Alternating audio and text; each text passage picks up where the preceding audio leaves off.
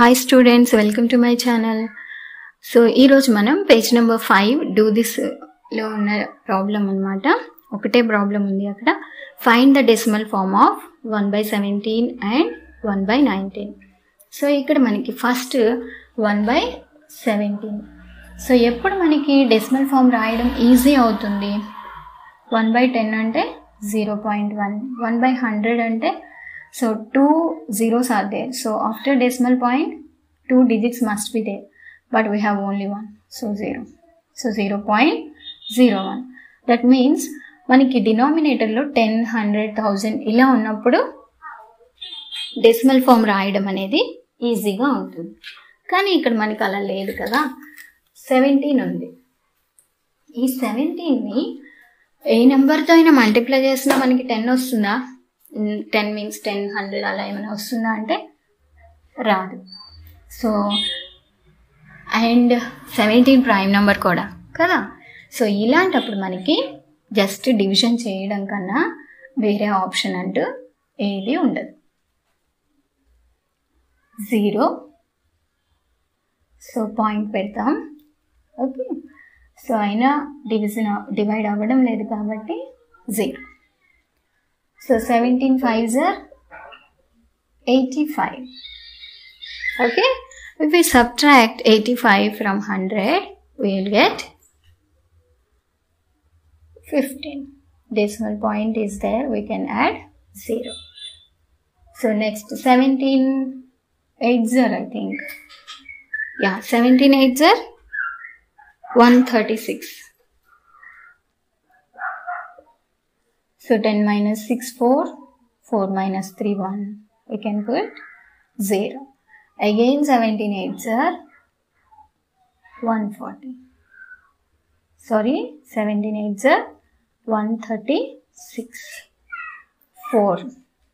130, 140 minus 136. So again we put 0. 17 2s are 38. 17 2s are 34. So six will come so ఇక్కడ end అనేది ఉండదు. మనం continue చేస్తూ ఉంటే డివిజన్ కంటిన్యూ అవుతూ ఉంటుంది. డెసిమల్ పాయింట్ తర్వాత మనం ఒక త్రీ డిజిట్స్ రాస్తే సరిపోతుంది.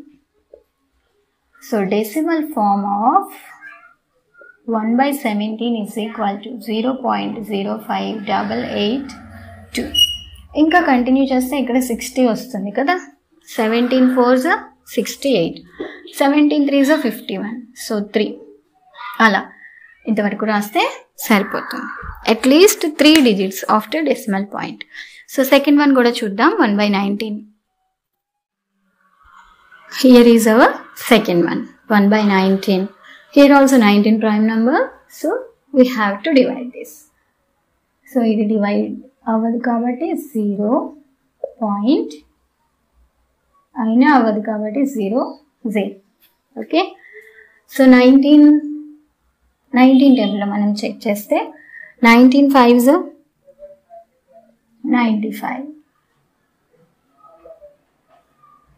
So five will come point is there we can put zero nineteen threes fifty seven so ఎక్కువ అయిపోతుంది కదా? So nineteen twos thirty eight ten minus eight two four minus three one we can add 0. Why we are putting 0? Decimal point is there. So 19 6 uh, are 114 6 and we can add 0. Next 19 3 are uh, 57. So 3 will come. That means again 19 ones so it will continue like that. So decimal form of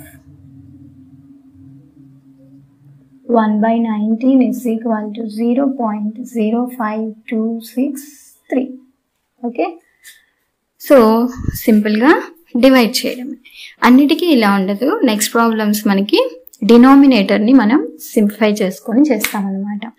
Okay thank you for watching